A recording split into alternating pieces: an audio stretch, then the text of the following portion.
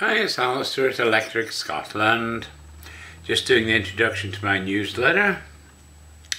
Uh, this time it's for the newsletter for the May the 17th, 2019. Uh, I'm noting that uh, the Brexit Party has gone uh, over 100,000 members now, as paid up members. So they continue to gain momentum. Uh, there's some concern now being shown by the Labour Party as they seem to think that they're going to lose votes to the Brexit Party as well. Obviously this all, all has possible ramifications for the next general election, both in Scotland and the UK. Uh, the UK especially, but seeing that a third of Scots voted to leave the EU, uh, I can well see the Brexit Party will at least get one seat out of Scotland, if not more. So it'll be very interesting to see what happens in Scotland on that vote.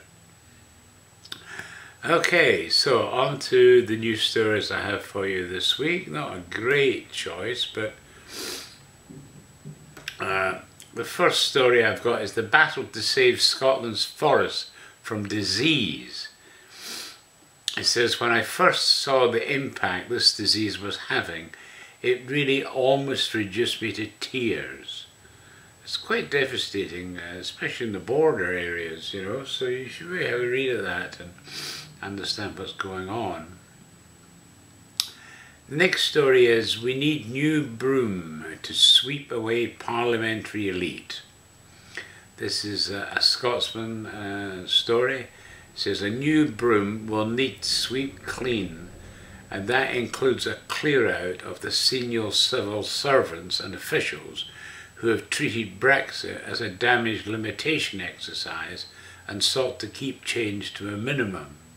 So here, here, it's great to see we're going to start attacking the civil servants because they're doing a very bad job, a lot of them. Look at Ollie Roberts, for example. He's, he's a prime example of a, a horrible, nasty civil servant that's actually trying to undermine the vote in the UK. Terrible man. He should be fired.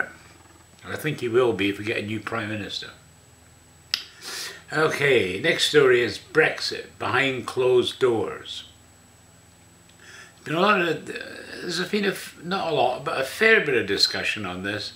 Um, and of course, if you, the link uh, on the story goes to the BBC to view it, because if you're not in the UK, you're not allowed to view it typical BBC and typical rubbish in the UK. But YouTube's got a copy, so I put a copy of the both parts up in my uh, community. So if you follow the link, you'll be able to watch both parts. And certainly I think it's well worth uh, looking at. I, I, certainly watched both parts. Um, next story is The Dig Uncovering Glencoe's Dark Secrets. This is archaeology and history enthusiasts are being encouraged to dig deep into the massacre of Glencoe. So that's quite an interesting story. We'll see what they find. Uh, BBC is now the enemy, declares furious Farage after TV grilling. Says Nigel Farage has angrily accused the BBC of outrageous bias after he was repeatedly challenged in an interview about his past political views. Um, it's actually from that that I actually give you the story of this week, but more of that in a wee bit. Uh, in a wee bit. The case for true independence requires Scotland must vote for Brexit. So the truth is the Scottish National Party likes to perpetuate the myth that it is the sole champion of the cause. And when we as Brexiteers start talking about independence for Britain, they get nervous. Interesting wee discussion there. Okay, um, oh yeah, and I thought you might like this one. 10 of the best places to get fish and chips in Scotland. Golden batter, perfectly cooked cod, Although the trouble is, it's just crispy chips and plenty of salt and vinegar, or sauce if you're an East Coaster. Who doesn't love a fish supper? Of course, in Scotland we mainly have haddock. England is where you normally have cod. So I don't know whether it was an English person that wrote this or not. We'll have to see. But anyway, I think the first one's in Anstruther. I remember my fish and chip shop in Grangemouth was one of the best, won multiple prizes. Brilliant there. Okay, the next story is the case for true independence requires. Oh yeah, sorry, I've already given you that one. um, hundreds of uh, of concerns raised about Scottish charities. A bit concerning this one. So Scotland's charities have reported hundreds of serious uh, concerns about their own organisations to regulators since 2016. So, you know, that's uh, concerning, certainly. Very concerning. So, you might like to read that one. That's a BBC story. Um, Farage sets sight on European election and beyond. This is from Reuters. Says Brexit campaigner Nigel Farage is one of the few politicians in Britain enjoying this month's elections to the European Parliament. In fact, he's relishing it. And that's really the, the news for this week. Um, continued discussions on getting rid of May, but you know, I mean, whether we'll get anywhere on that, I have absolutely no idea. I, th I, think the problem is to get rid of her, but who do we take, take in its place, and can whoever replaces her do anything better? I, I can't see it. I think we need a general election.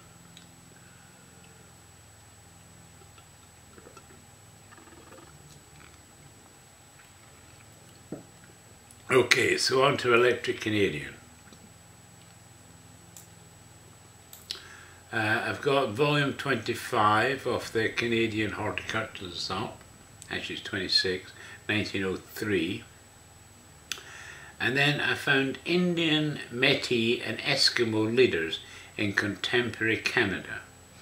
This collection of 15 biographies was prepared to illustrate for classroom purposes some of the well-known contemporary Indian, Eskimo and Métis people in Canada today. So uh, I hope you might enjoy reading these stories. Then Toronto, a world and a city ethnic diversity of Toronto. So basically it's uh, showing you Toronto and talking to many people in Toronto about uh, the ethnic diversity of the, of the city. It's considered to be one of the most diverse uh, ethnic cities in the world. And then on the ethnic, I've also got something on Ethnic Canada, which is a 1986 census of Canada provided, as did all the previous censuses, a rich source of information on individual, family and household characteristics of Canadians. And uh, so I, I it was interesting. You'll find, in fact, that British and French were the main um, mainstays of Canada, but tons of other countries have come in. And as you know, I've been working on, on bringing some of these ethnic histories uh, to you on the site. Like I've got the, uh, the, the their history in Russia, and their emigration to Canada. This was produced in 1903.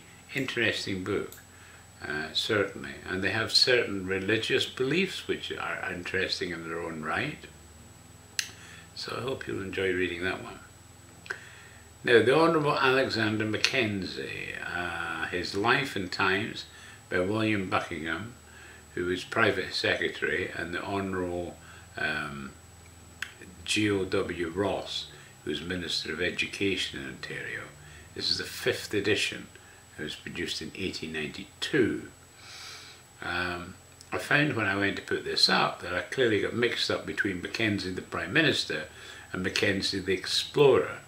So have uh, fixed the pages um, as well as adding this book. So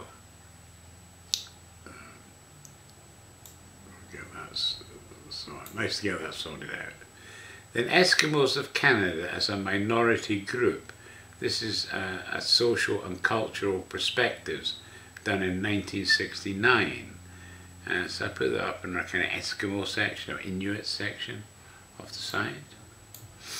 And then more First Nations, Delaware First Nations in Ontario near Chatham. It's only half an hour down the road from me. Uh, added an article from the Chatham Voice newspaper. So I've given you a link to, to read that. Basically, the, the, the church in the, in the area has uh, given over land that they owned to the, to the tribe. And then again, transition from Italian. This is the first year by Mary uh, and Stan Shapson. This is in 1974. It's um, it's basically about trying to get the Italian children to speak English, essentially, and so it's going through the efforts to that to that aim. And then Conrad Black, a couple of stories uh, from him on Mark Norman's case, Head should roll, and not the junior ones. This is the uh, Vice Admiral um, who's basically been prosecuted for uh, telling secrets and stuff like that, but the case is just, well, it, it, they decided not to proceed with the case basically. So he's talking about that. And then also the President of the United States called, I was being pardoned at last. So good news for him, and uh, I think anyone that likes him is very happy for him. So it means he should be able to go to the States now. I don't think he'll make any particular money out of it, but at least he's free to move around more. Okay, so that's the Canadian section uh, for you. So we come to Electric Scotland itself. I've done a bit of work, in fact quite a bit of work, on the Fallbrook Oral History Project. You maybe remember some years ago now I was involved quite heavily with the Fallbrook um, project. They were trying to take an old farm uh, and turned it into a heritage centre. They didn't get very far on that, but they also wanted to do oral histories so they tell of Balafad and, and stuff like that in that area. And so I attended a couple of the meetings, did some photographs and video work, and uh, did a couple of their oral history um, videos and put them up on YouTube. But I've done a lot more work this week um, because now the copyright issues have apparently been settled and so it's now full steam ahead to get the rest of the videos up and I've actually got them all up now from the CDs I was given. But in fact, there are two more CDs and they seem to be only audio. So I'm going to see what I can do with those ones as well. Okay, uh, the next one I got for Electric Scotland is the Lake of Menteith. It's islands and vicinity with historical accounts of the Priory of Inchmahome and the earldom of Menteith. This is by A. E. Hutchison. Um, so it's a very interesting area of the country that, so if you come from that area or your ancestors do, you might like to read that. Then The Life of a Regiment is the next one I've got for you. It's the history of the Gordon Highlanders from its formation in 1794 through to 1816 by Lieutenant Colonel uh, G. Greenhill Gardyne. This was produced in 1901. It's in two volumes. So I've added these two volumes to our Gordon Highlanders page. So it keeps it all together. Then Beth sent in a new copy of our Beth's Newfangled Family Tree. I got in section 2 of the June 2019 issue. And then, uh, oh yeah, Brexit and IndyRef 2. I did a video about my take on Brexit and IndyRef 2 at the request of a reader uh, from adding a comment to my last newsletter. Basically just asked straight out, can you give me your opinion on um, where you think Brexit is going and so forth. So I decided I would uh, reply by doing another video so you can watch that now. And I give you the link because I put it up in our community. Okay, History of the Camerons. It's with genealogies of the principal families by Alexander Mackenzie. And so I'll give you a link uh, to that if you're a Cameron. Then um, Reminiscences of Childhood at Inverkeithing, or Life of uh, Lazaretto by James Simpson in 1882. Basically, he's remembering when he was about 10 years old and reminiscing uh, about his time in the area. So again, it's a, it's a kind of unique view from a 10-year-old boy's point of view. Of course, he wrote it many years later, when he was quite an old guy, but uh, they say as you get older, your long-term memory gets better and your short-term memory gets worse. So there's something in that, I think. then memorial uh, to the late Dr. James Thompson. He was assistant surgeon to the 44th Regiment, and this was in 1857. Quite a character, that certainly, um, and you'll be gobsmacked what, what he did.